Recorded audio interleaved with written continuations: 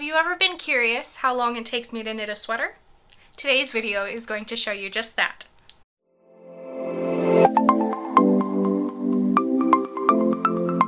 Welcome to my channel. My name is Amanda and this is Birch and Lily where I talk about all sorts of fun, crafty, and nitty goodness. Today has been a long time in the making. I have been filming the whole process of knitting my resource raglan from start to finish. I've been timing it and filming it so that I could create a video to show you exactly how long it takes me to knit a sweater. I am shocked by the results. You'll obviously see them at the end of this video, but I am shocked. So yeah, this is going to be a really fun video. Before we jump on in, there are a few places you can find me on the internet. The first is birchandlilyfiber.com, as well as Instagram at birch.and.lily. And everything that I talk about today, all the links, all the places you can find me, they're all linked down below in the description. Something else I wanted to let you know about this video is that there's going to be a very exciting discount for you for the Resource Raglan pattern from Sarah Opie. Um, of course, the pattern is not live yet at the time this video is going up, but it should be out sometime next week. And I had the video ready to go in my queue, so it's going live today. But Keep an eye on the end of this video to get that coupon code to get a special discount on the resource raglan. Like I said, I just sat down and I filmed the process of knitting this here sweater, my resource raglan. So yeah, I won't ramble too much. Let's jump on into the video and I can tell you a little bit more about this sweater at the end.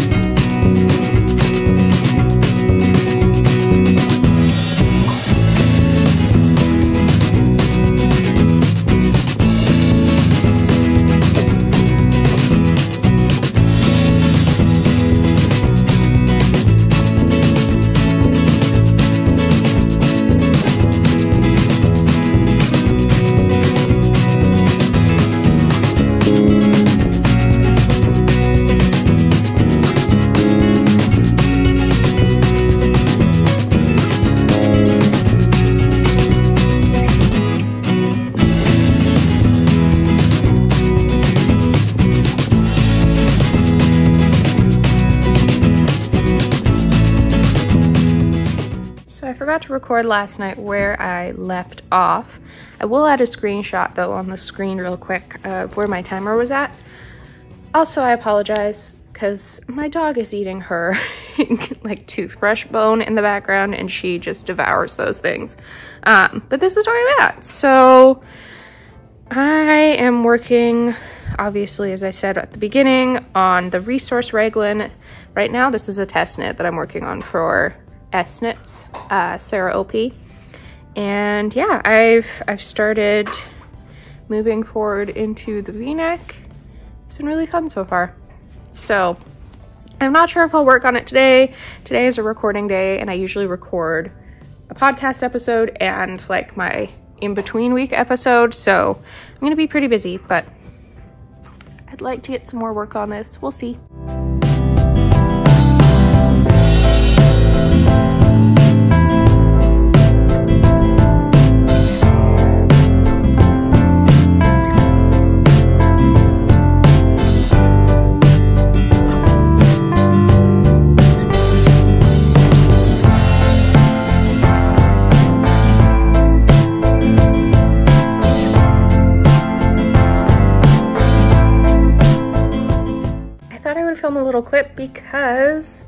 Joined in the round. Um, so it's May 2nd. I'm at about the six hour mark. Actually, on that note, I need to pause my timer.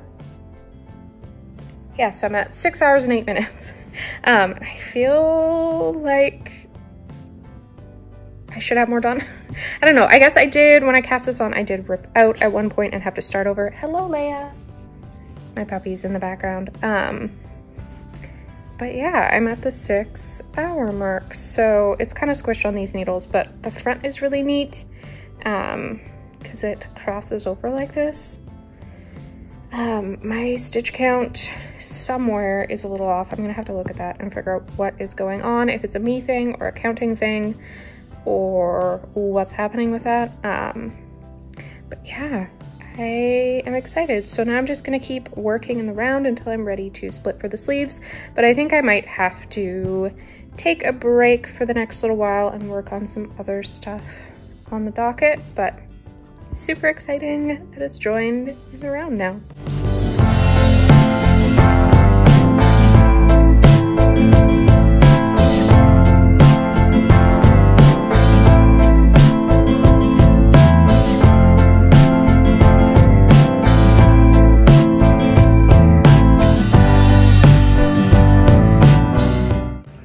Okay, it's been much too long since I showed this. My dog is eating a bone in the background, but I finished the body. Um, I've been working on this so much in the evening, and so the lighting just hasn't been great, and I haven't been able to film, and even now, for some reason, this color just does not want to show up well on my iPhone. But yeah, the body is done. I ended up deciding to do a split hem. Um, it's a little bit shorter in the front and a little bit longer in the back. Enjoy my pajama pants. um, and then yeah, I've picked up and I'm working on one sleeve now. I think I'm gonna do full length sleeves um, and go from there. But yeah, it's, it's going fast. I have no idea what the final time count is. My timer screwed up on me, um, so now I've just been like manually keeping track of it and I have not done the math, but it's been shocking how much longer it's taken me than I expected. I thought I always knit garments so fast, but now this has been quite a bit of time. So that's where we are. I have to wind up another skein of yarn before I can keep going on this sleeve, but it's going. It has been quite a while since I recorded me knitting on this sweater, my resource raglan, and then I was looking through all the footage I have for it the other day, and somehow I accidentally deleted something um, that I know I had of me like sitting down and talking through everything. So I'll have to re-record that later, I guess. It was more of like a describe what is going on, what I'm doing. So that's okay, there could be worse things. But I'm getting really close to being done. The last time I added up all of the hours that I've put into this so far was a couple days ago and I was past the 24 hour mark. So I have one sleeve done now and I'm working away on the second one. I'm on, there's like two sets of decreases in this pattern, which is great. I think, I think that makes the sweater fit really nicely, or the sleeves rather. Um, so I'm working away on the first set and then I'll have like a second set after that, but I thought I would sit down and record just some more footage of me working on the sleeve.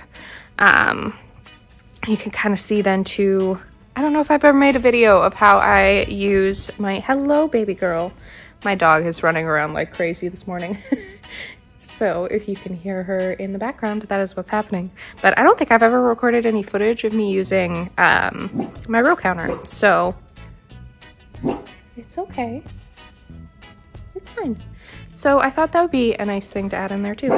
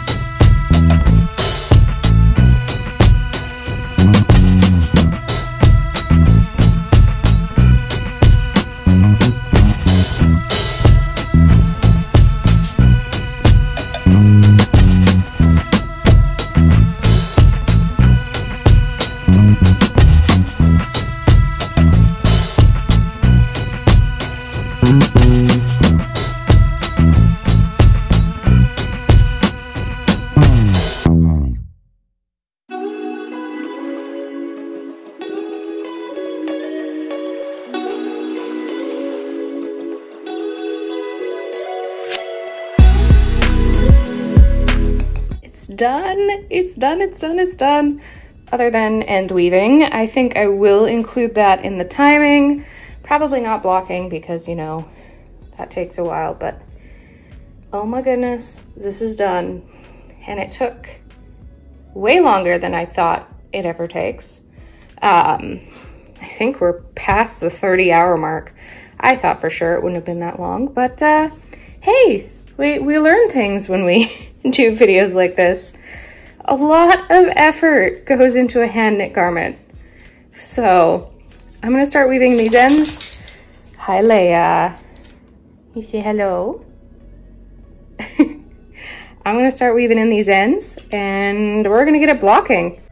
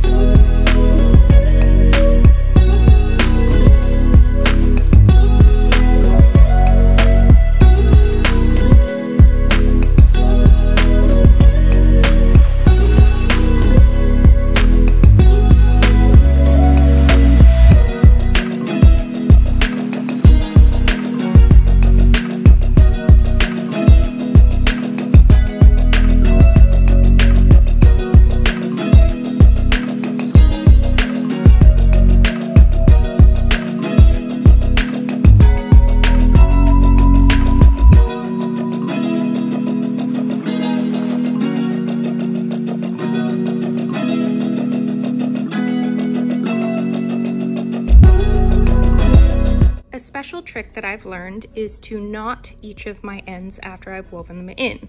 The reason I do this is because I don't cut my ends until after the garment has been fully blocked and dried. So if I knot each of the ends, then I know for sure that it's been woven in and I won't accidentally cut an end that hasn't been woven in and unravel my whole sweater. One of my favorite wool washes to use is from Tuft Woolens. They have these beautiful bar wool washes that you can just rub into your water and they help along with the blocking process of your garment. Blocking is super important because it evens out all of your stitches and just gives the garment a finished, beautiful look. It also helps your garment relax into the shape that it really wants to be, and you can block it to the measurements that your pattern gives you. I highly recommend giving blocking a try if you haven't before.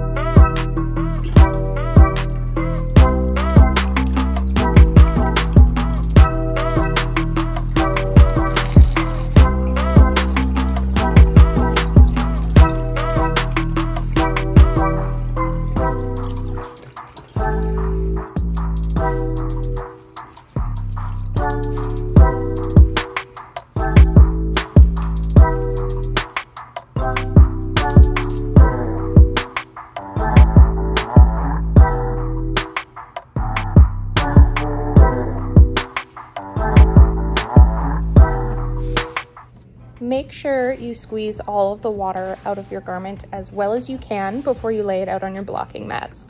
I have a spin dryer, which does help a lot, but is totally not necessary.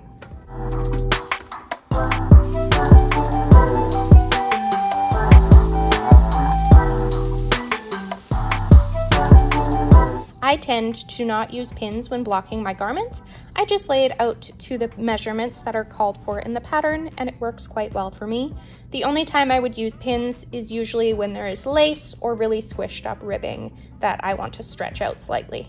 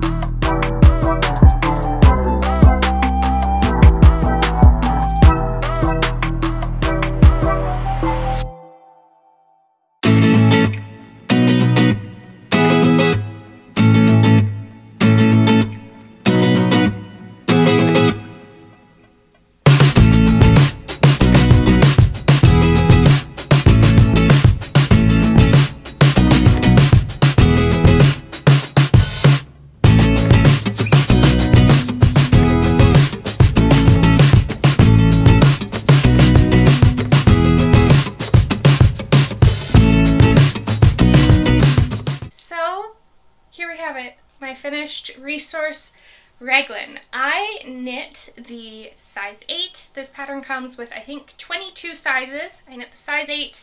I have a about 40 inch bust and this is the size 42 inch so it gives me 2 inches of positive ease. This pattern, if uh, you are new here and you don't watch my regular podcast episodes, which you definitely should, Um, but if you're new here, this is a pattern by Sarah Opie, and she has designed this to basically be your knitting encyclopedia for knitting a raglan sweater. So I chose some different options here. I have the ribbed v-neck. I just did normal sleeves, the regular foundational pattern sleeves, knit the body to, I think this is about 14 inches long before I did the ribbing and I did a split hem that's a little bit longer in the back and yeah this is my resource raglan. So um, I guess we'll talk a little bit about the timing. I'm not going to go into tons about the construction of the sweater, first of all, because it's a paid for pattern, but second of all, because I talked a lot about it on my previous podcast episode. So if you want to hear more about this, definitely check the episode before this one uh, to hear more about that. Um, I guess I should say though that I did knit this out of Birch and Lily Fiber Co. Birch DK, which is a 100% superwash merino in the colorway Mauvelous. Okay, we're back to sitting down because it's more comfortable for me to talk to a camera this way. Um, hopefully, I'm sure my setup is all funky, but there's been stuff in between, so you won't really notice, will you? Anyways, wow, over 40 hours of knitting. Um, I think my idea of how long it takes me to knit a sweater is really skewed because I'm not a monogamous knitter. So I have multiple projects on the go at one time and I don't really pay attention to how long I'm spending on something. But to realize that I put 40 hours of knitting into finishing this just makes, I don't know, every single piece I've knit more precious and it makes me I was I was kind of picky already on who I knit projects for and gifts for, but it makes me even pickier about who I knit things for because this took so long. Um, and this is a DK weight sweater. A fingering weight sweater is going to take even longer. I don't know. I find I get a lot of comments about, oh my goodness, you knit so fast. I don't think I do. I really, filming this and timing this, I don't think I knit that fast. Um, I think I'm really good at fitting knitting time into my day, and I also have a decent amount of free time at this point in my life so that I'm able to knit lots, but I don't think I'm that fast of a knitter, so I don't know. Um, I would be curious if any of you have timed how long it took you to knit a garment.